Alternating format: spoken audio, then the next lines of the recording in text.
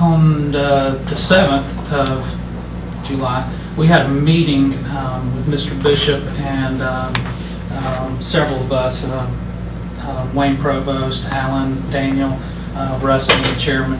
And what this meeting was for was, is we were going to try to get some participation uh, for the, from the Doherty family uh, for this project to help cover that shortfall.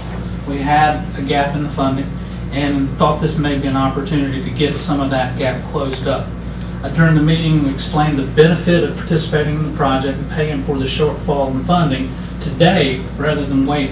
Uh, According to our policy that we have for front footage assessment, if, if they wanted to tie in in the future, they would have to pay, uh, based on what their share was of the total cost, based on line capacity or front footage, um, whatever their frontage would be. So we talked to them about what the advantage of uh, participating today, um, the potential of losing that capacity, uh, and going ahead and getting this project moving forward. Um, Also, we discussed um, the potential that the, that the board had the option to say, no, we're not going to do this project anymore. And what that future cost would be, and it would be a significant increase in the cost if they had to do it themselves um, versus participating in this project in, in some form uh, to get it moving.